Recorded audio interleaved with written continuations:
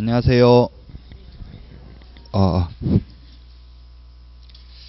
어, 저는 공인회사 법령 및 중개실물 담당한 박용덕입니다. 처음 오신 분들도 계시니까 어, 1분 정도만 계략적인 공인회사 제도를 말씀드리고 바로 진도 들어가도록 하겠습니다.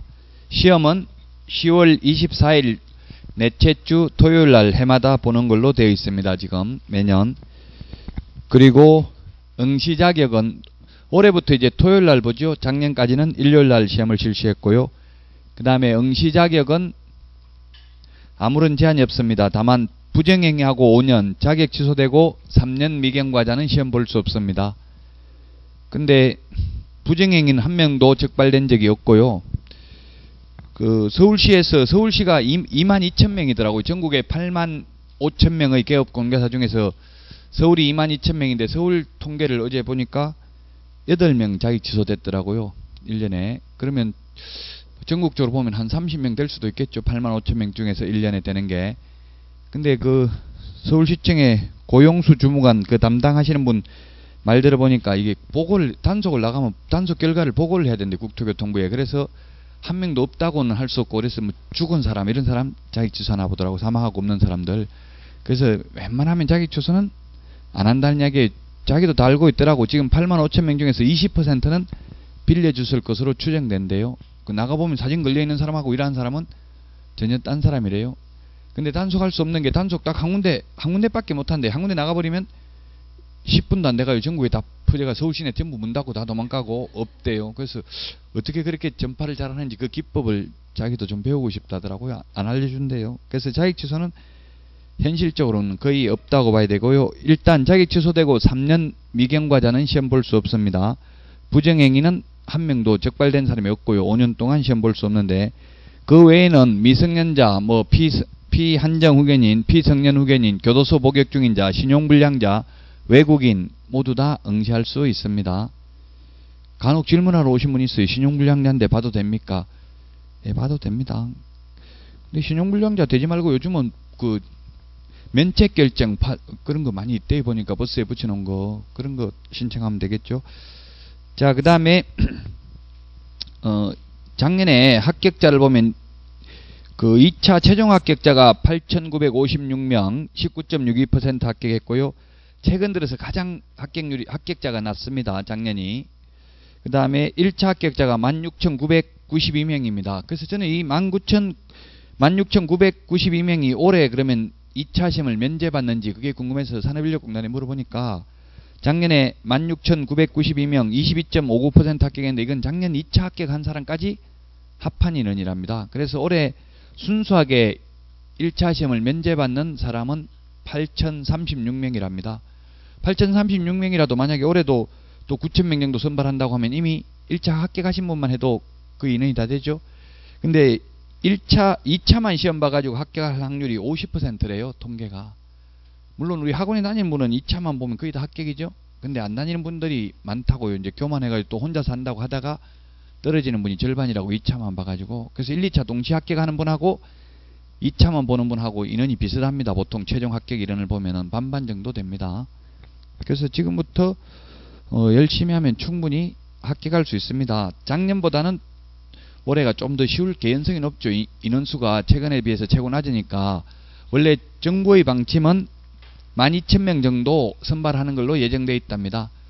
1회 때 1회 때 6만 명을 선발했고요. 2회부터 9회 때까지는 2년에 3,000명 선발했습니다. 2년에 3,000명. 그러다가 10회 때만명 선발하려고 했는데 만 5천 명 가까이 선발이 됐습니다. 그래서 계속 15,000명, 10회 때부터 지금까지 기조가 똑같습니다. 약 15,000명 정도, 12,000에서 15,000명 정도입니다.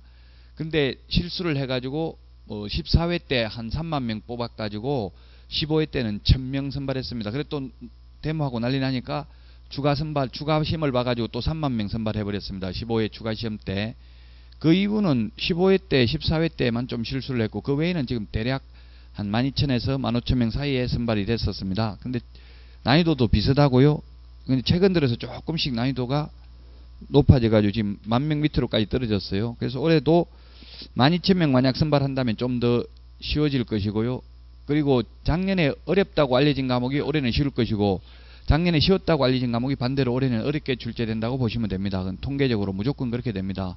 그 작년에 1차에서는 주로 학계론이 어렵고 민법이 쉽다고 알려졌죠, 작년에? 일반적으로. 그렇다면 반대로 올해는 민법이 어렵고 학계론이 쉬울 개연성이 높다고요. 작년에는 학계론 교사 문제가 13문제 나왔어요. 11문제에다가 실질적으로 그 거미집 이론 함수까지 합하면 거의 13문제가 출제됐고요. 올해는 아마 그렇게 많이 나오지 않을 거예요. 작년 학계론 출제에 들어갔던 다섯 분 교수님들 올해는 한 분도 들어갈 수가 없어요. 왜냐하면 이 신청이 두 문제 이상 나오면 출제위원 자격을 2년간 박탈한다 이렇게 확약서 쓰고 들어갔답니다. 그 학교는 이 신청이 항상 많이 되기 때문에 그래서 올해는 물론 그분들이 안 들어갔다고 문제가 쉬운 건 아니에요. 난이도 조절은 통계학과 교수들이 한대요. 통계학과 교수들이 이렇게 시뮬레이션을 해본대요. 작년에 가신 분들 보통 20명에서 한 50명 정도 들어와 가지고 시험 봐 가지고 어, 점수를 보고 난이도 조절을 한다고요. 예, 그래서 음, 작년하고는 반대로 될 것이다. 그러면 제가 맡은 이 공인계사법이 작년에 쉬운 걸로 알려져 있어요. 작년에 공법이나 이런 게 어렵고요. 그럼 올해는 반대로 나오겠죠?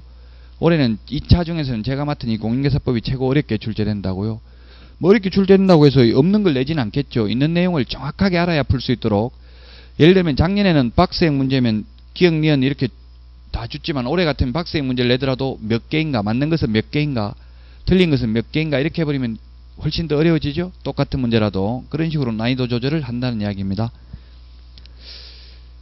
자, 그래서 공부는 일반적으로 옛날 1회 시험 같은 경우는 저도 어제 제가 사실은 건국대학교에서 실무교육을 저도 지금 동국대학교에서 실무교육을 강의하면서 제가 실무교육을 받았어요 또 어제 받았는데 보니까 뭐 자기 소개하는데 보니까 한 달 공부했다는 분도 있더라고요 합격하면 뭐 그렇게 거짓말 할 수도 있어요 근데 그 합격하면 그렇게 하세요. 이러면 한 달도 말고 그냥 학원도 안 다니고 책 조금 봤다 그냥 이렇게 그 21일 합격 이런 책도 있거든요. 한 권으로 그냥 다 돼 있는 거. 예, 그런 거 책만 한 권 봤다 이렇게 하면 돼요. 사법고시 걸린 사람들 전부 신림동 학원 다니놓고 학원 다녔다고 한 사람 한 명도 못 봤어요. 사법고시 걸린 사람은. 그 왜 그런지 모르겠어요. 하여튼 학원 다녔다는 말은 전혀 안 해요. 그냥 혼자서 학교 공부만 열심히 했다 이렇게 해요. 인터뷰 하는데 보면. 그 합격해서 보면 별것도 아닌데 뭐 지금은 아마 여러분들이 중개업소 지나가면 아마 좀 존경스러울 거예요 보면 그 진짜 물론 뭐 돈 못 버는 사람도 있지만 제가 아는 분들 못 벌고 망한 사람도 물론 있습니다만은 세 명 중에 한 한 명 정도 상위 10% 안에만 들면은 몇 천만 원 벌어요. 항상 어, 상위 20%가 뭐 2대 8, 2080 버티 있잖아요. 그래서 뭐 물론 뭐 아무리 뭐이 고득점을 해도 망하는 사람도 있겠지만 대부분은 거의 500만 원 이상은 벌더라고요. 이게 중개업을 하면은 정상적으로 열심히 하면은 어, 그래서 저도 지금 등록하려고 일단 실무 교육은 받았어요. 그 이제 2년에 한 번씩 연수 교육도 받아야 되는데 이제 등록하면 누구 또 신고 빌려줬다고 신고할까봐 좀 걱정되긴 하는데 그래도 신고 웬만하면 잘 안 하더라고요. 맨날 있을 수는 없으니까. 근데 그 실무 교육 오는 강사들도 보니까 다 등록돼 있더라고요. 근데 맨날 강의하면 때는 자리 비우잖아요. 그래서 크게 문제되진 않아요. 여러분들도 만약 합격만 하시면 자, 19페이지 보겠습니다. 이제 그러면 공인중개사 제도 맨 먼저 있는 공인중개사 제도 이 공인중개사 제도는 거기 18페이지 맨 위에 보면은 몇 문제 나온다고 돼 있지 않죠? 그 시험에 해마다 출제되는 파트는 아닙니다. 나올 수도 있고 한 문제도 안 나올 수도 있습니다. 그래서 가장 내용은 많은데 출제 비중은 낮다는 이야기입니다. 왜냐하면 변별력이 없기 때문에 그렇습니다. 누구나 다 알고 있기 때문에 시험에는 한 문제 나오거나 또는 한 문제도 안 출제될 수도 있습니다. 자 그러면 먼저 시험 시행기관입니다. 19페이지 시험 시행기관은 양가로 1번 중간에 원칙은 보면 시도지사입니다. 시도지사 아무 말 없이 시도지사라고 하면 특별시장, 광역시장, 도지사, 특별자치도지사를 시도지사라고 합니다. 시도의사가 시행하는 시험에 합격하여야 합니다. 근데 정확하게 굳이 말을 하자면 여기는 특별자치시가 빠졌죠. 즉 세종특별자치시가 원래는 광역자치단체입니다. 근데 세종특별자치시는 지금 현행 공인중개사법에서는 시장군수구청장으로 분류됩니다. 어, 원래는 광역자치단체인데 그래서 세종시는 세종시장이 자격증 주는 게 아니라 충청남도 도지사가 줍니다. 아직까지는. 시도의사가 시험을 시행하고요. 그 다음에 양가로 2번 예외적으로 시험 수준의 균형 유지 등을 위하여 필요한 경우에는 국토교통부 장관이 직접 시험을 출제하거나 시행할 수 있습니다. 물론 이 경우에 동그라미 2번 맨 밑에 직접 국토교통부 장관이 출제하거나 시험을 시행하고자 하는 때에는 정책심의위원회의 의결을 미리 거쳐야 됩니다. 미리 거쳐야 되는데 시험에 사후에 의결을 거쳐야 된다. X로 출제됐습니다. 미리 사전에 정책심의위원회의 의결을 거쳐야 됩니다. 자, 그 다음에 20페이지.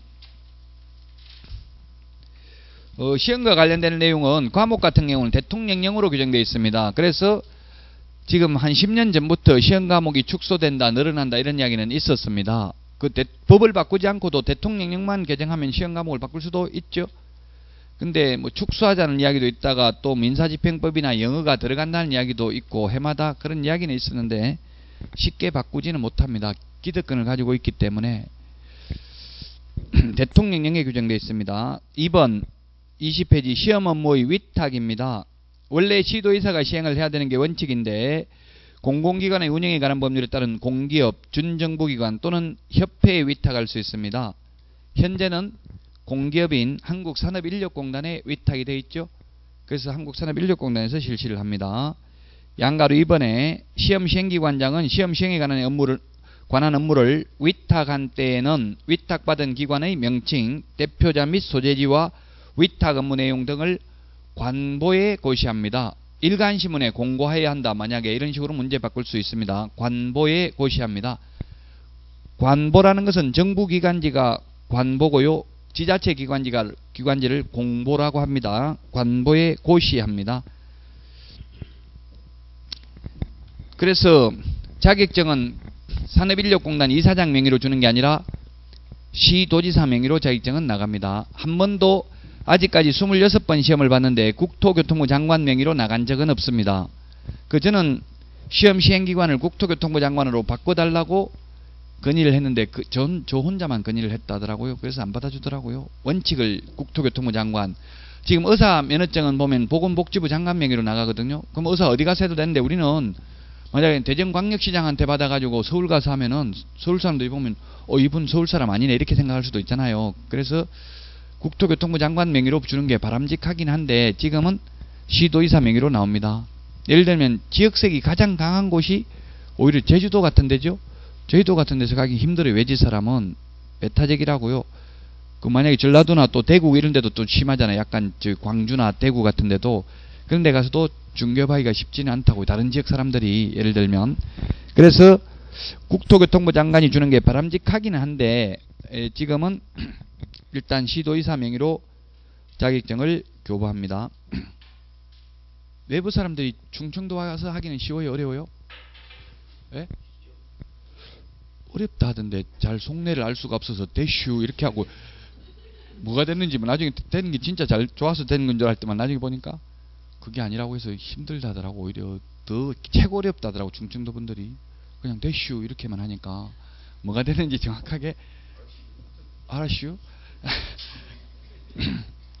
그 의사 표시를 정확하게 이제 해도 돼요. 그는 옛날 중생분도 분들이 그렇게 된 역사적 배경이 있다더라고. 옛날에 이게 자꾸 중, 그, 신라됐다, 백제됐다 자꾸 바뀌니까 잘못 말하면 칼 맞으니까 그냥 가슴 속에만 담아두고 그냥 대슈 이렇게 했다더라고. 그 유래가 그러다 보니까 이제 그게 습성이 자꾸 계속 이어온 것 같아요. 그 옛날부터 전통적으로 그렇게 하다 보니까 되겠죠. 충청도 강의하기가 진짜 힘들어요. 어떻게 보면 강의 잘합니까? 그러니까 예 대슈 이렇게 하는데 그 진짜 잘한 게 아니더라고요. 나중에 보니까 요즘은 의사 표시 해야 돼요. 요즘은 뭐 예를 들어서 젊은 사람이 결혼해가지고 한 번 안 먹는다고 하면 죽을 때까지 다시는 안 줘요. 옛날에 어머님들은 뭐 안 먹는다 해도 계속 주고 이러는데 요즘은 안 먹는다 하면 다시는 안 주더라고. 그래서 안 먹어도 무조건 먹는다고 해야지. 안 먹는다고 하면 다음부터는 안 주거든 절대로. 자, 20페이지입니다. 이번에 공인중개사 정책심의위원회입니다. 이게 올해 개정됐습니다. 작년까지는 공인중개사 시험위원회라고 했습니다. 근데 이게 정책심의위원회라고 해서 좀 범위를 더 확대시켰습니다. 업무의 범위를. 자, 에, 공, 정책심의위원회는 이 양가로 1번에 보면 둘 수 있습니다. 둘 수. 20페이지 맨 밑에서 네 번째 줄에 정책심의위원회를 두어야 하는 게 아니라 둘 수 있다. 임의기관입니다. 그 이유는 왜 둘 수 있다. 옛날에는 노무현 정부 때는 둔다라고 되어 있었는데 이명박 정부 때 둘 수 있다로 바뀌었습니다. 원래 이명박 정부 때 대통령직 인수위원회에서는 이 심의위원회를 없앤다고 했었어요. 없앤다고 했다가 왜냐면 예산 때문에 근데 기득권자들이 또 반발하니까 둘 수 있다로 바꿨습니다. 그래서 노무현 정부 때보다 이명박 정부 때 150개 없앤다고 했다가 오히려 더 늘어났더라고요. 그만둘 때 보니까 위원회가 그 말로만 미리 할 때는 없앤다고 했는데 나중에 보니까 600개더라고요. 이 각종 위원회가 그러면 예산이 엄청나게 들어가겠죠. 이 공, 정책심의위원회도 마찬가지입니다. 1년에 한 번도 심의도 안 하면서 예산만 중요하잖아요. 어떻게 보면 제가 볼 때는 필요도 없어요. 사실은 전부 공무원들이 다 해놓고 그냥 심의만 하면 그 공무원들이 국토부 공무원들이 이렇게 하자 반대하는 사람 손 드세요 하면 뜬 사람 있겠어요, 없겠어요? 반대하면 다음에는 절대 위촉 안 하겠죠. 정책심의위원회 위원으로. 그래서 무조건 예, 자, 아유 잘하셨습니다. 그냥 찬성밖에 없대 얘기는 그 정책심의위원회 들어갔던 사람들 이야기 들어보면 무조건 아 좋은 아이디어네요 이렇게 하고 찬성만 해야지 안 그러면 다음에는 절대 위촉 안 하거든요. 위촉되면 1년에 회의 한 번 하고 수당 받고 프로필에 정책심의위원회 위원 역임 이런 거 하면 좋잖아요. 그래서 형식적인 기구일 뿐입니다. 사실은. 어쨌든 그래서 결론은 둔다가 아니라 둘 수 있다. 자, 그 다음에 21페이지 구성을 보면 위원장 양가로 1번에 위원장 1명을 포함하여 제외가 아니고 포함하여 7인 이상 11인 이하의 위원으로 구성합니다. 작년에 시험위원회 위원은 어, 5인 이상 7인 이하였습니다. 지금 바뀌었어요. 그래서 작년에 공부했던 분들 더 어려워요. 오히려 작년 거 잊어먹고 또 해야 되니까. 아니 누가 질문하더라고요. 아, 작, 5인 이상 7인 이하 아닙니까? 왜 이렇게 11명 됐습니까? 하던데 작년에는 시험위원회 위원이고 지금은 정책심의위원회 위원으로 바뀌었습니다. 명칭이. 예, 포함입니다. 포함. 제외하면 X입니다. 또는 위원장 1명과 7인 이상 11명 이내의 위원으로 구성한다. 이렇게 해도 X죠? 예, 제, 포함입니다. 포함. 제외도 또 있으니까 주의를 하시라고요. 각종 위원회 위원은 항상 홀수입니다. 헌법재판소 재판관도 9명입니다. 홀수입니다. 왜냐하면 민주적 정당성을 확보하려면 과반수 출석, 과반수 찬성이니까 일반 의결 정족수가 그래서 항상 홀수입니다. 대법관들도 지금 뭐 사실상 13명이 전원 합의분은 13명이 재판합니다. 홀수입니다. 항상. 자, 그 다음에 양가로 2번 심의위원회 위원장은 국토교통부 제1차관이 되고요. 그 다음에 위원은 다음에 해당되는 사람이, 사람인데 동그라미 1번에 국토교통부 4급 이상 또는 이에 상당하는 공무원이나 고위공무원단에 속하는 일반직 공무원입니다. 여기는 4급 이상입니다. 에, 5급이 사무관이고 4급이 서기관이고 3급이 부의사관, 2급을 이사관, 1급을 관리관이라고 합니다. 그 명칭 암기할 필요는 없지만 고위공무원단이라고 하면 3급에서 1급을 고위공무원단이라고 합니다. 그래서 4급 이상이면 상당히 높은 분입니다. 왜 이런 말씀을 드리냐면 뒤에 가면 우리 협회에 공제심의 공제위원도 있어요. 공제운영위원, 공제운영위원. 공제운영위원은 그냥 국토교통부 장관이 임명하는 공무원입니다. 직급은 상관없어요. 공제운영위원은 직급이 상관없는데 정책심의위원회 위원은 4급 이상이어야 합니다. 그 다음에 이번에 보니까 대학에서 부교수 이상의 직에 있는 자, 변호사, 공인회계사 자격 있는 사람, 협회에서 추천한 사람, 그 다음에 5번은 산업인력공단 이사장이 추천한 사람이 되겠죠. 그 다음에 비영리 민간단체에서 추천한 사람, 그 다음에 한국소비자원의 임직원으로 재직하고 있는 사람, 그 밖에 부동산 금융 관련 분야 학식과 경험이 풍부한 자. 항상 이렇게 기타 등등을 꼭 만들어 놨어요. 맨 마지막 8번은 아무나 들어갈 수 있는 거죠. 학식과 경험이 풍부한 거는 뭐 구체적으로 뜬 건지 없으니까요. 자, 그 다음에 양가로 3번에 심의 위원회에는 심의위원회의 사무를 처리할 간사 1명을 둔다. 이건 둘수 있다가 아니라 둔답니다. 만약 이런 걸 둘 수 있다 하면 X입니다. 예, 간사는 심의위원회 위원장이 국토교통부 소속 공무원 중에서 지명한다. 이렇게 되어 있습니다. 총무입니다. 쉽게 말하면 우리 총무라는 말이 일본식 표현이라고 간사라고 했는데 간사도 일본식 표현입니다.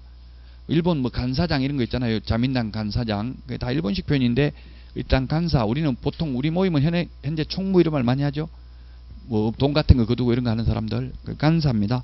간사 일명을 둔다. 자, 심의해야 되는 사항은 맨 밑에 보면 자격 취득에 관한 사항, 그 다음에 중개업 육성에 관한 사항, 그 다음에 22페이지 중개 보수 변경에 관한 사항. 이번에 보수 변경하려고 이걸 넣었어요. 옛날에 없다가 보수 변경. 지금 뭐 3억에서 6억 사이 임대, 6억에서 9억 사이 매매 변경하려고 했죠. 근데 변경이 됐어요? 안 됐어요? 지금 현재 강원도 조례만 개정되고 나머지는 변경된 바가 없습니다. 서울도 보류했습니다. 일단 다시 공청회 같은 거 한다고 했어요. 자, 그 다음에 4번 손해배상 책임 보장에 관한 사항 이런 걸 심의하기 위해서 정책심의위원회를 둘 수 있습니다. 자, 그 다음에 4번 임기입니다. 임원, 어, 임원의 임기인데 국토교통부의 4급 이상 또는 이에 상당하는 공무원이나 고위공무원들에 속하는 일반직 공무원을 제외하고는 임기가 2년입니다. 공무원은 뭐 그냥 해임 그 국토교통부 장관이 다른 데 발령 내버리면 가야 되겠죠. 그 공무원 말고 나머지 사람들 임기는 2년이다. 그 다음에 양가로 2번 위원의 재척, 기피, 회피 사유가 있습니다. 이거는 뭐냐 하면 우리 판사들도 똑같이 있어요. 자기 친인척들 재판 못합니다. 마찬가지로 심의위원들도 자기 이해관계인들은 심의할 수 없다는 이야기입니다. 재척, 재척은 배제된다는 말이고 기피는 스스로 기피를 해야 된다는 기피 어, 네. 동그라미 1번 읽어보겠습니다. 심의위원회 위원은 다음 어느 하나에 해당하는 경우에 심의위원회 심, 심의 의결에서 제척된다, 배제된다 이 말입니다. 기억 하나만 읽어보겠습니다. 위원 또는 그 배우자나 배우자이었던 사람이 해당 안건의 당사자, 당사자가 법인, 단체 등인 경우에는 그 임원을 포함한다가 되거나 그 안건의 당사자와 공동권리자 또는 공동 의무자인 경우, 즉 이해관계인 경우는 배제된다고요. 제척된다고요. 동그라미 2번 해당 안건의 당사자는 위원에게 공정한 심의 여기를 기대하기 어려운 사정이 있는 경우에는 심의위원회에 심의, 심의위원회에 기피 신청을 할 수 있고 위원회는 의결로서 이를 정한다. 본인이 스스로 이게 나는 못하겠다, 심의 못하겠다 이렇게 기피 신청을 할 수 있다고요. 이런 어, 돼야 되는데 만약에 재책이 안 되고 모르고 재책이 안 되면은 배제가 안 되면은 스스로 기피 신청을 할 수가 있고요. 예, 그 다음에 동그라미 3번 어, 본인이 위 1의 재책 사유에 해당하는 경우에 스스로 해당 안건의 심의 의결에서 회피하여야 한다. 빠져야 된다고요. 심의 의결을 하면 안 된다. 이것도 올해 신설된 내용입니다. 그래서 23페이지에 그 재책 기피 회피는 어, 용어 정리를 해놨습니다. 자, 위원장의 직무. 양가로 1번. 위원장은 심의위원회를 대표하고 심의위원회 업무를 총괄합니다. 당연한 거고요. 그 다음에 6번 심의위원회의 운영입니다. 양가로 1번. 재직, 어, 양가로 2, 번 과반수 출석, 과반수 출석으로 의결합니다. 양가로 3번. 위원장은 심의위원회의 회의를 소집하려면 회의 개최 7일 전까지 통보해야 됩니다. 7일 전까지. 다만 긴, 긴급하게 개최하여야 하거나 부득이한 사유가 있는 경우에는 회의 개최 전날까지 통보할 수 있습니다. 7일 숫자 7이 10번 넘게 나오니까요. 7일 주의하시고요. 자, 그 다음에 맨 마지막 양가로 5번 운영 세칙입니다. 이 영에서 정한 사항 이외에 심의위원회의 운영 등에 필요한 사항은 심의위원회 의결을 거쳐서 위원장이 정합니다. 24페이지 수당 등입니다. 심의위원회에 출석한 위원 및 관계 전문가에게는 예산의 범위 안에서 수당과 예비를 지급하여야 한다가 아니라 할 수 있다. 법 잘 만들었죠? 뭐 안 할 수도 있다. 돈 없으면 안 줄 수도 있다. 이런 말입니다. 자, 그 다음에 3번 응시자격 시험 방법 과목입니다. 아까 말했어 응시 결격 사유는 딱 두 가지밖에 없다. 자격 취소되고 3년 미경과자, 부정행위하고 5년 미경과자입니다. 25페이지 이번에 시험 시기 방법 과목인데 시험 시기는 매년 1회 이상 시행한다. 다만 부득이한 사유가 있는 경우에는 심의위원회의 의결을 거쳐서 당연히도 시험을 시행하지 아니할 수 있다. 그래서 시험을 1년에 10번 볼 수도 있고 10년 동안 한 번도 안 봐도 법에 저촉되는 것은 아니다. 이론적으로는. 그러나 걱정하실 필요는 없습니다. 해마다 한 번씩 보고 있으니까요. 시험, 시험 방법입니다. 양가로 2번.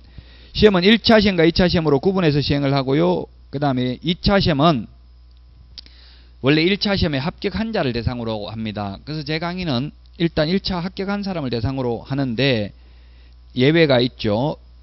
자, 동그라미 2번 1차 시험은 선택형으로 출제하고요. 그 다음에 주관식 단답형 또는 기입형을 가미할 수 있고 2차는 논문형으로 출제하는 것을 원칙으로 하되 주관식 단답형 또는 기입형을 가미할 수 있습니다. 그러나 동그라미 3번 시험 시행기관장이 필요하다고 인정하는 경우는 1차 시험과 2차 시험을 구분하되 동시에 시행할 수 있으며 이 경우 이 경우가 뭐예요? 바로 동시에 시행하는 경우에만 2차 시험의 방법은 1차 시험 방법에 따라 시행한다. 따라서 동시에 시행하고 있기 때문에 지금 2차도 객관식으로 보고 있는 거죠. 여러분이 힘들다고 1, 2차 분리하자 하면은 2차는 논문형입니다. 그래서 지금 주택관리사는 분리가 돼 있잖아요. 그래서 주택관리사는 한 열 몇 문제가 12문제인가 주관식으로 나옵니다. 저 아마 우리 학원도 적어놨을 거예요. 주택관리사. 그렇게 건의하지 말라고요. 또 분리하자고 힘들다고 분리하는 순간 2차는 논문형입니다. 주관식을 내야 돼요. 무조건. 그 지금 보니까 주택관리사도 완전 주관식이 아니고 단답형이더라고요. 완전 논문형으로 써버리면 채점하기가 어렵잖아요. 그래서 단답형으로 어, 하고 있더라고요. 단답형도 힘들잖아요. 이게 객관식만 익숙해져 있기 때문에. 자, 그 다음에 시험을 동시에 시행하는 경우 1차 시험에 불합격한 자가 2차 시험은 무효로 한다. 따라서 1차는 불합격하고 2차만 합격했다면 2차를 채점해야 하네요? 합니다. 채점은. 컴퓨터가 해가지고 몇 점인지 다 알려는 줍니다. 다만 효력이 없으니까 소용이 없다고요. 아무리 90점 받아도 2차만. 그래서 3, 4월까지도 여러분들은 2차는 강의를 열심히 듣고요. 1차는 예습 복습을 열심히 민법을 특히 열심히 하셔야 될 거예요. 민법이 공부할 분량이 많으니까. 2차도 강의는 계속 들어야 돼요. 자꾸 미루고 싶다고 미루고 미루고 하다가 나중에 막판 되면은 힘들어요. 한 번만에 하려면 되지도 않아요. 계속 내공을 쌓아야 된다고 듣고 잊어먹고 듣고 잊어먹고 쓸데없는 소리 같지만 계속 들어야 돼요. 그래서 이때까지 한 거 다 사면해주고 3월달부터 지금부터 시험 볼 때까지 제 강의를 모두 다 들으면은 들었는데도 불구하고 70점 안 나오면 200만원씩 손해배상 해드리겠습니다. 이거는 녹화되어 있습니다. 증거는 되겠죠. 다만 예외는 있습니다. 지각, 조퇴, 결석한 경우에는 그러하지 아니합니다. 그리고 예외 또 하나 더 있습니다. 단 합격한 사람은 역선택의 우려가 있으므로 손해배상 해주지 않습니다. 합격하면서 일부러 다른 거 점수 잘 나오니까 이거 일부러 67.5점만 받을 수도 있거든요. 그래서 합격하신 분도 제외되고 지각 조퇴 결석한 사람에게도 예, 돈을 주지 않는다는 점을 미리 말씀드립니다. 그래서 지각 조, 예습 복습은 안 했는지 했는지는 입증할 수가 없으니까 그는 제외합니다. 그냥 수업만 계속 들으시면 되고 그 대신에 가급적이면 좀 미리 와서 예습을 하는 게 좋아요.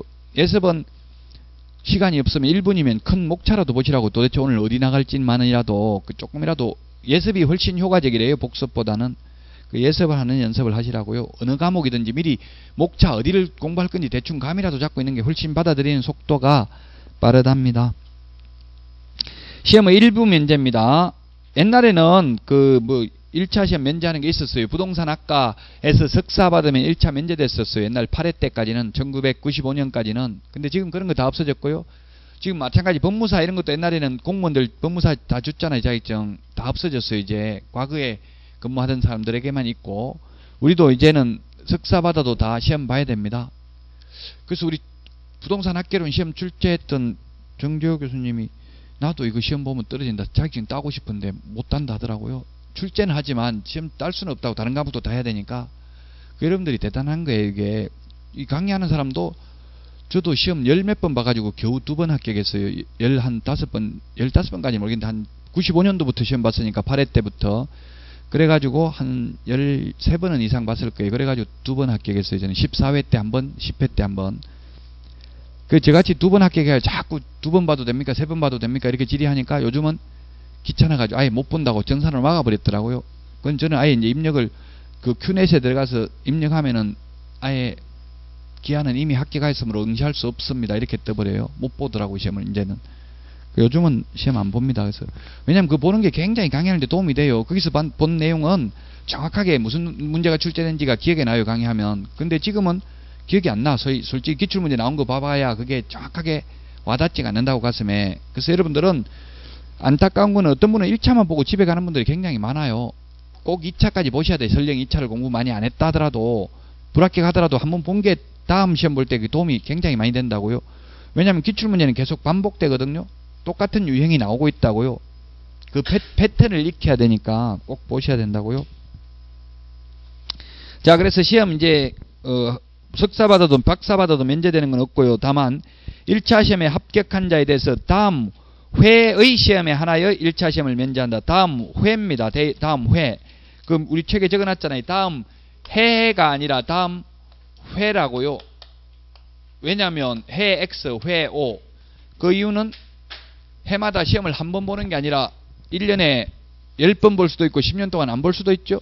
그래서 다음 해가 아니라 다음 회의 시험에 하나여 26회 1차 합격하신 분은 27회만 면제되고요.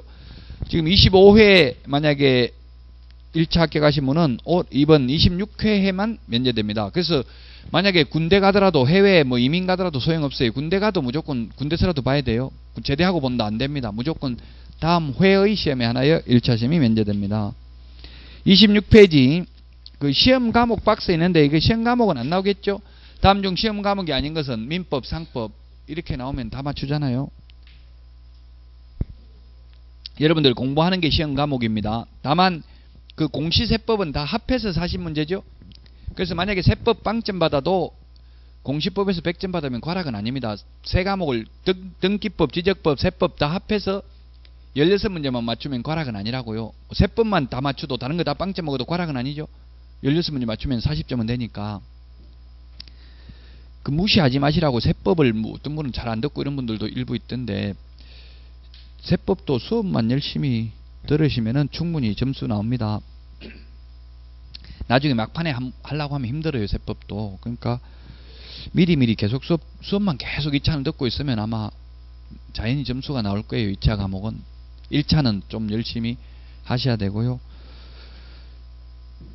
지금 1차 열심히 해야 된다고 막판 되면 이제 다 같이 2차도 하고 한 3, 4월까지는 1차 위주로 공부는 열심히 하시라고요. 2차 수업 듣지 마라 소리는 안 했어요. 지금 지각조택 일석하면 제가 보장 못합니다. 지금 70점 보장하는 것도 굉장히 위험한 거예요. 왜냐면 문제가 어려, 어렵게 나오기 때문에 작년에 쉽게 나올 때는 제가 80점 보장해 줬어요. 근데 올해는 어렵게 출제됩니다. 26페이지 시험 문제의 출제 및 채점입니다. 출제위는 임명위촉입니다. 출제위는 시험 문제의 출제 선정 검토 및 채점을 담당할 자를 말하며 시험 시행기관의 장이 학식과 경험이 풍부한 장 중에서 임명 위촉한다. 지금 현재는 보면 전부 다 어, 대학 교수들입니다. 부동산 학계로는 부동산학과 교수고요. 나머지 과목은 전부 법학과 교수들이 출제하고 있습니다. 그 출제위는 한 명이 아니고 여기 보니까 출제 선정위원, 검토위원, 그 다음에 뭐 이렇게 있기 때문에 보통 한 과목당 거의 9명 가까이 들어가더라고요. 작년에 학계로는 출제는 5명 했다더라고. 거기에다 또 선정위원이 있고 검토위원이 있고 그 5명이 10문제씩 출제하라 해가지고 서로 검토해가지고 2문제씩 빼고 최종적으로 8문제씩 선택이 됐다더라고요. 그 파트별로 이제 뭐 전공 파트에 따라서 감정평가 감정평가 부분은 강원대학교 장희순 교수가 출제하고 경제로는 이 모군대학교 대전에 있는 모군대학교 정재호 교수가 해마다 출제에 들어가요. 이 대전에 부동산학과가 많죠? 많더라고. 대전에 있는 학교가 부동산학과 있는 대학이 굉장히 많아요. 여러분들도 좀 다니시라고. 지금 박사가를 부동산학 박사가 지금 엄청나 건국대학교에서도 벌써 100명 정도 나왔더라고요. 얼마 안 됐어요. 박사가 생긴 지가. 근데 거의 대부분이 60%가 다 공인중개사예요. 박사가 부동산학 박사가. 뭐 건국대학교 같은 데는 보면 딱 직군별로 뽑아요. 은행 직원 한 명, 뭐 변호사 한 명, 공인회계사 한 명, 법무사, 공인 뭐 이렇게 다 직군별로 전부 다 뽑더라고 인맥을 넓히기 위해서. 그래서 그 동창 동문회에서 해결 안 되는 게 없어요. 전 직군이 다 있기 때문에 서울시청 공무원, 국토교통부 직원 다 있다고요. 그러니까 뭐 같은 동문들끼리 부탁하는데 안 들어주기 어렵거든요. 그 인적 네트워크가 있기 때문에 이제 석사 박사하면 뭐 특별히 지식을 많이 배우는 건 없어도 사람을 아는 게 그게 중요하거든요. 사람이 다 재산이잖아요. 지금 뭐 나이 먹어가지고 뭐 무슨 공부하겠어요. 저도 뭐 박사과정 수련을 했는데 배운 거 모르겠어요. 뭘 배웠는지 기억은 안 나요. 하나도. 오히려 이 학원에서 배운 게 훨씬 더 많은 걸 배울 수는 있어요. 그렇지만 사람은 많이 안다고요. 지금 저 대전 사람 그래서 많이 말 알아요. 제가 대전에서 박사과정을 했기 때문에 저 유성도 가면은 뭐 잠도 재워주는 데도 있어 공짜로.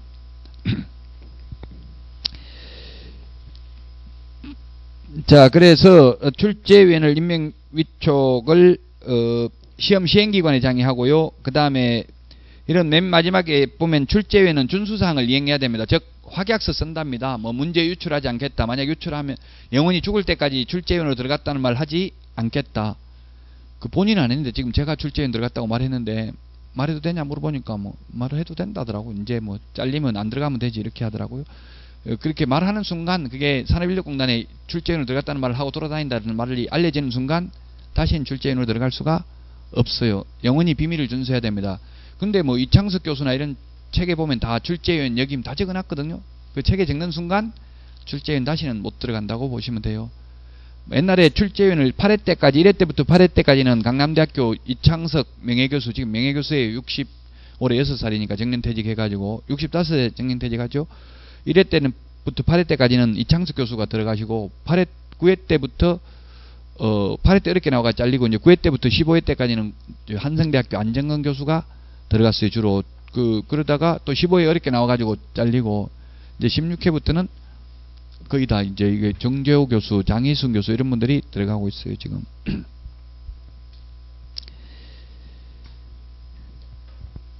자, 27페이지입니다. 신뢰도를 저하시킨 출제위원에 대한 조치입니다.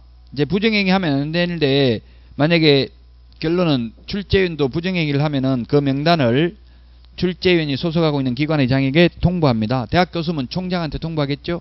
그러면 그 명단을 통보한 출제위원에 대해서는 통보한 날로부터 5년간 출제위원으로 위촉하여서는 아니 됩니다. 5년입니다. 부정행위를 한 수험생, 부정행위를 한 출제위원 모두 5년입니다. 5년간 자격이 박탈되고요. 자격 취소된 사람은 3년간 시험 볼 수 없습니다.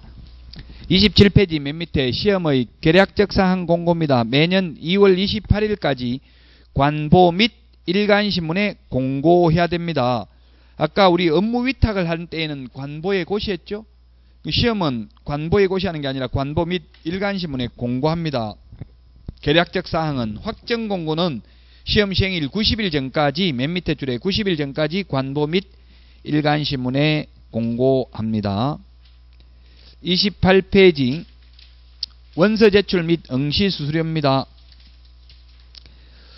양가로 이번에 보니까 28페이지 맨 위에 자격시험에 응시하는 자는 지자체 조례가 정하는 수수료를 납부해야 됩니다. 다만 국토교통부 장관이 시행하는 경우에는 국토교통부 장관이 결정 공고하는 수수료를 납부해야 되며 그 다음에 시험 시행 업무를 위탁한 경우에는 해당 업무를 위탁받은 자가 위탁한 자의 승인을 얻어서 결정 공고하는 수수료를 납부해야 됩니다.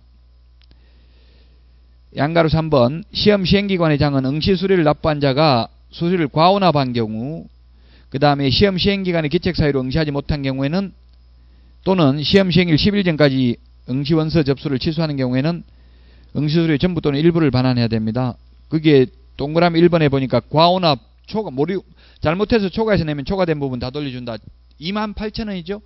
근데 만약 2만 8천 원두 번 내면 한 번 낸 건 돌려준다. 잘못해서 두 번 냈다면 그 다음에 시험 시행 기간의 기책 사유로 응시하지 못한 경우도 전부 다 돌려준다.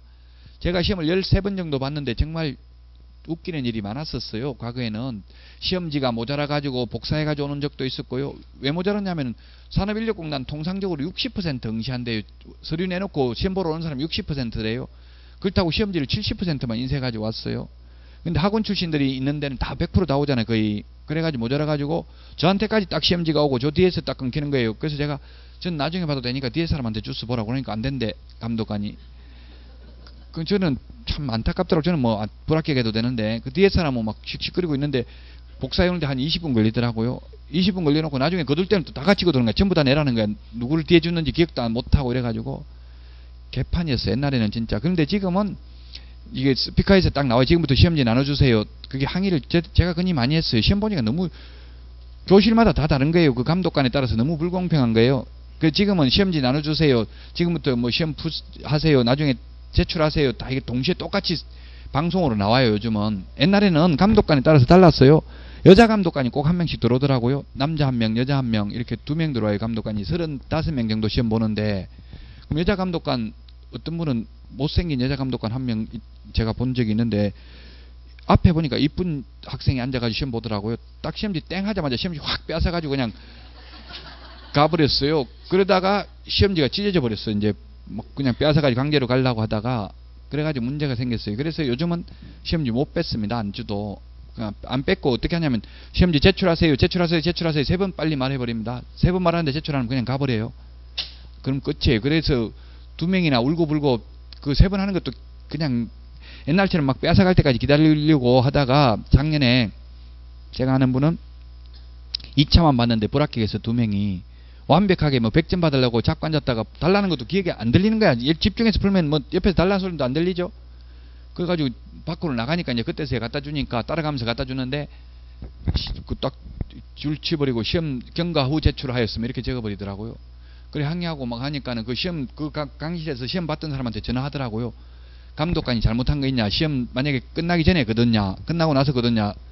확인시키더라고요. 딱 한 명, 두 명한테 확인시키더라고. 그러니까 아니 끝나고 나서 거뒀습니다. 이렇게 하니까 그럼 다 끝까지 전부 다 물어볼까? 이 정도 하면 된 거 아니냐? 이렇게 하더라고. 그 줄, 줄- 그 감, 책- 총책임자가 있더라고. 그 학교에. 그래서 뭐 할수 없이 다, 다시 시험 봤어요. 1, 2차 다시. 조심하시라고 시간 지키는 거. 그래서 모의고사는 해- 꼭 보셔야 돼. 모의고사가 뭐 점수 많이 받는 거 1회 모의고사에서 1등한 사람은 떨어질 확률이 높아요. 꼭 점수 많이 받는 게 중요한 게 아니고요. 시간 안배하는 걸 연습해 보시라고 OMR 카드 작성 안 해보면 손이 덜덜덜 떨려가지고 이게 못해요. 이게 동그라미를 해야 되는데 굉장히 어렵다고 동그라미 하기가 원래 다른 시험은 동그라미가 아니고 거의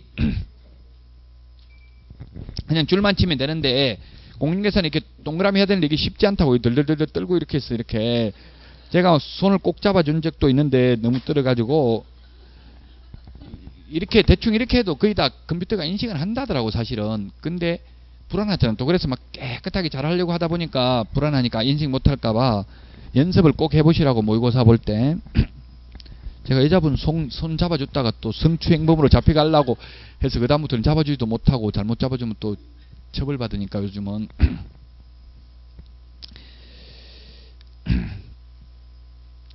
산에 가서도 이손 잘못 잡아주면 그러니까 한번 죽을라는 거 제가 한번 잡아준 적 있어요. 설악 한라산에서 진짜 지금도 기억이 생생해요. 여자분인데 막 그 굴러서 내려오더라고. 그 한라산 그 무슨 코스야? 그 굉장히 위험한 코스가 있어요. 한 군데 눈 많이 왔을 때 그 지금 안 잡아줬으면 죽었을 거예요. 근데 온몸을 다해서 바다가 잡아줬는데 뭐 고맙다 말다는 그냥 가버리더라고. 그래서 이제 다음부터는 축구로 그냥 내버려 둬야 되겠다 이런 생각은 들긴 하더라고. 자, 그래서 음, 시험 시행기관의 기책사유를 응시하지 못하는 경우 만약에 뭐 예를 들면 시험 어렵게 출제하면 폭파하겠다 이렇게 또 전화 와 가지고 금속 탐지기로 다 검사한 적도 있었습니다 옛날에 시험에 그렇게 만약에 돼버리면 예, 또 시험 다 돌려주겠죠 돈. 그 다음에 3번에 접수기간 내에 접수 취소해도 다 돌려주고요. 4번에 원서 접수 마감일 다음 날부터 7일 이내 접수 취소하면 60% 돌려주고요. 동그라미 5번 원서 접수 마감일 다음 날부터 7일이 경과한 날부터 시험 시행일 10일 전까지 접수를 취소하면 50% 돌려줍니다. 자, 원서 접수가 8월 달에 합니다. 8월 달에. 8월 1일부터 뭐 편의상 8월 1일부터는 아닙니다. 사실은. 근데 제가 편의상 8월 1일부터 10일 동안 접수 받거든요. 그러면 첫날 접수했다가 마지막 날 취소하면 다 돌려준다고요. 그런데 원서 접수 마감일 다음 날부터 7일 이내 접수를 취소하면 60%만 돌려줍니다. 100분의 60. 근데 원서 접수 마감일 다음 날부터 7일이 경과한 날부터 시험 시행일 10일 전까지 접수를 취소하면 50% 돌려줍니다. 우리 법에서는 지금 시행령하고 시행규칙이 다른데 취소, 철회를 같은 의미로 쓰고 있습니다. 취소, 철회가 같은 의미라고 민법에서는 다르죠. 취소, 철회가 이게 민법을 한 사람이 만든 게 아니고 그냥 동네 사람이 만들어가지고 법을 동네 말로 취소, 취소, 취소나 철회나 같은 말입니다. 여기서는 자, 그 다음에 합격자 결정입니다. 합격자 1차는 항상 절대평가지요. 40점 밑으로 과락 없이 평균 60점 이상이면 1차는 무조건 합격입니다. 2차도 원칙은 절대평가입니다. 올해는 절대평가입니다. 근데 예외적으로 상대평가는 2회부터 9회 때까지는 상대평가했어요. 3,000명 뽑는다 딱 공고를 했었어요. 근데 지금은 공고를 안 해요. 그러니까 절대평가라고요. 만약에 공고를 하면은 동그라미 2번입니다. 29페이지 위에서 세 번째 줄에 올해는 12,000명만 선발한다. 이렇게 만약에 공고를 했다면 60점 이상이 3만 명 나오면 불합격자가 나올 수 있겠죠? 예, 그렇게 상대평가를 한다 이 말입니다. 자, 그 다음에 동그라미 3번 최소 선발 인원 또는 최소 선발 비율을 공고한 경우입니다. 이게 15회 시험을 1000명밖에 선발이 안 돼가지고 이런 규정을 만들었는데요. 14회 때는 3만 명, 15회 때는 1000명 너무 불합리하잖아요. 그래서 이제 최소 올해는 최소 12,000명은 뽑는다 이렇게 한다면 60점 안 되는 사람 중에서도 40점 이상인 자 중에서 최소 선발 인원까지는 뽑는다는 이야기죠. 그럼 만약에 최소 올해 12,000명 뽑는다고 했는데 60점 이상이 2만 명 나왔다면 2만 명 모두 다 합격이죠. 최소만 있고 최대는 없기 때문에 이론적으로만 이런 게 있고요. 현실적으로는 올해 절대평가입니다. 원칙이라고요. 무조건 절대평가고요. 만약에 시험 공고할 때 이렇게 올해는 최소 선발 인원을 공고한다 이렇게 하면은 될 수는 있습니다. 근데 올해도 안 합니다. 내부적으로 물어보니까 안 한다더라고. 무조건 올해도 절대평가다. 합격자 결정 공고 자격증 교부인데요. 맨 밑에서 두 번째 줄에 29페이지 합격자 결정 공고일로부터 1월 이내에 자격증을 교부합니다. 1월 이내에 한 달 이내에 교부합니다. 원래 대전시청에서 아마 교부할 거예요. 근데 등기 우편으로 받을 수도 있습니다. 택배로 신청할 수 있다고요. 택배 택배죠. 등기 우편이 택배인가 신청할 수 있어요. 그 원서 접수할 때 그게 접수 그냥 택배로 받는 게 더 좋겠죠. 가는 차비보다 더 싸요. 택배비가. 근데 제가 자격증 받을 때는 옛날에 가서 줄 서가지고 기다리더라고. 참 지금 생각하니까 안타. 뭐 왜 그랬는지 모르겠어요. 자격증 빨리 받고 싶어서 새벽부터 가가지고 줄 서가지고 기다리고 있었어요. 저는 경기도청에서 또 받았는데 그러니까 꽤줄 서가지고 3시간 있다 받았어요. 줄 서가지고. 그 좀 있다가 하루만 있다가 뿌리면 아무도 받으러 온 사람 없는데 그막 첫날 가서 다 새벽부터 가서 받으려고 그러더라고요. 그 꼭 하루만 주는 게 아닌데 그래서 요즘은 그래서 가서 기다릴 필요도 없고요. 안 가면은 아예 시, 구청으로 보내줍니다. 구청으로 해당 구청 주소지 구청으로 그럼 구청 가서 찾아면 돼요. 급하면 이제 빨리 근데 뭐 급해가지고 다 빨리 가서 받아가지고 그냥 거실의 보기 쉬운 곳에 게시해놨더라고 사무실도 안 차리면서 1월 이내입니다. 꼭 한 달 있다 주라는 뜻이 아니라 한 달 안에 교부하라는 뜻입니다. 1월 이내에 자 그 다음에 30페이지에 보면 양가로 2번 공개사 자격증 교부대장은 전자적 처리가 불가능한 특별한 사유가 없으면 전자적 처리가 가능한 방법으로 작성 관리하여야 한다. 즉 이제는 등록 신청할 때도 자격증 사본 제출할 필요가 없습니다. 왜냐하면 전부 전자적 처리가 되어 있기 때문에 주민등록번호만 입력해버리면 바로 자격증 있다는 게 떠버려요. 요즘은 왜 이런 게 생기냐면 옛날에 위조한 자격증 가지고 등록해서 중개업을 하다가 적발된 사례가 있습니다. 근데 요즘은 불가능합니다. 자격증 없이 이제 위조된 자격증 가지고 등록하는 것은 불가능하다. 지금은. 자, 그 다음에 자격증 재교부입니다. 분실 훼손 못 쓰게 된 경우는 자격증 재교부 신청할 수 있는데 이 경우에는 당해 지자체 조례가 정하는 수수료 내야 됩니다. 자격증을 처음에 교부할 때는 수수료 안 냅니다. 분실해서 재교부 받을 때는 수수료 내야 됩니다. 만약에 그 대전 시청에 가는 거하고 구청에 구청에서도 재발급 받을 수 있어요. 그러면 구청에 가면 돈이 더 비싸요. 왜 위탁돼 있기 때문에 위탁 수수료는 더 비싸죠. 저 뭐 대전 같으면 시청에 직접 가도 되겠지만 여기는 가까우니까 예를 들면 강원도나 뭐 경상도 저 울진 삼척이 경상도입니까 강원도입니까 울진 삼척 경, 경상도죠. 아 울진은 경상도고 원래는 강원도인데 그 박정희 정권 때 경상도로 편입시켰죠. 논산 같은데 원래 전라도인데 이게 지금 충청도 됐잖아요. 논산도 원래 옛날에 뭐 김종필하고 박정희하고 그 친했자, 친한 게 아니고 지금 김종필 씨 부인이 박정희 형님의 아들 딸이죠 딸. 예, 그 지금 이번에 돌아가신 분하고 박근혜 아, 대통령하고 사촌이잖아요 사촌.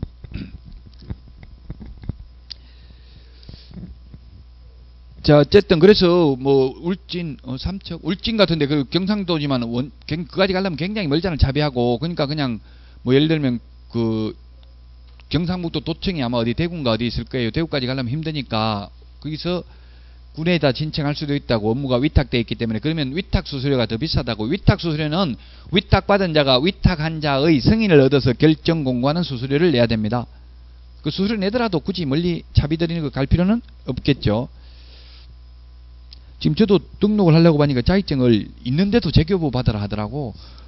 너무 어리게 나와가지고 제가 1999년도에 땄는데 그때는 진짜 완전히 미성년자 같더라고 얼굴이 지금 사진을 보니까 그 중개받는 데는 너무 어리면 꼭 좋은 게 아니더라고요. 어, 그래서 좀 늙, 늙게 나오게 찍어가지고 좀 해, 하자 하더라고. 그래서 좀 화장을 늙은 사람처럼 머리도 다 염색해가지고 지금 찍으려고 하고 있어요. 자, 그 다음에 31페이지 자격증 대여 등의 금지입니다. 양도 대여하면 안 된다. 양도 대여한 자, 양수 대여받은 자, 빌려준 사람, 빌린 사람 모두 다 1년 이하의 징역이나 천만 원 이하의 벌금에 해당이 됩니다. 빌려줘도 안 되고 빌려서도 안 됩니다. 그 다음에 공인중개사 사칭금지 31페이지 유사명칭 사용하면 안 된다. 그래서 자격증 없는 사람이 개업을 해가지고 대표자, 대표이사, 사장, 오너 이런 말 적으면 회장 이런 말 적으면 유사명칭 사용금지로 1년 이하의 징역이나 천만 원 이하의 벌금입니다. 그래서 지금 국토교통부 그 직원 이야기로는 공인중개사라고만 만약에 소속 공인중개사라면 공인중개사라고만 명함 새기지도 말라 하더라고요. 왜냐하면 소속 공인중개사 이렇게 적으래요 명함에다. 왜냐면 일반인들은 보통 보면 공인중개사라고 하면 그냥 개업을 한 사장이라고 생각할 우려가 있다는 이야기 일반 국민들은 그러므로 소속 공인중개사도 공인중개사라는 말은 쓰지 말라 하더라고요. 그냥 소속 공인중개사 이렇게 적고요. 그 저는 명함에다 그냥 공인중개사 적었어요. 예, 수- 공인중개사라고 적 공인중개사가 공인중개사를 적는 거는 뭐 크게 위반될 가능성은 없습니다. 자 어쨌든 대표자라고 적으면 안 된다. 대표자라는 명칭은 쓰면 안 된다. 그 판례도 있고 시험에도 출제됐어요. 부동산 뉴스 대표 이렇게 했습니다. 부동산 뉴스라는 게 그 간판 이름이에요. 그 중개사무소 간판 이름. 그 대표라고 써버리면 보통 실무적으로는 돈 된 사람을 대표라고 하고 자격증 있는 사람은 소장, 뭐 실장 이렇게 부르고 그렇게 해요. 저도 지금 이제 등록 신청을 하는데 저보고 소장이라고 부른다더라고. 무슨 누구 누구 누구 공인중개사 사무소 소장이면 뭐 그냥 대표나 마찬가지예요. 소장 이렇게 소장이라는 말도 아마 대표가 아니면 쓰면 논란의 여지가 있겠죠. 중개사무소라고 돼 있으니까 명칭이 사무소 소장이면 거기서 최고 높은 사람이니까 어, 유사명칭에 걸릴 수도 있다고요. 자격증 없는 사람이 그렇게 쓰면 자 여기까지 공인중개사제도 이렇게 많은 내용 중에서 한 문제 정도 나올까 말까 한다. 그렇게 중요하진 않고요. 이제 쉬었다가 38페이지 이제 총칙 부분을 하도록 하겠습니다.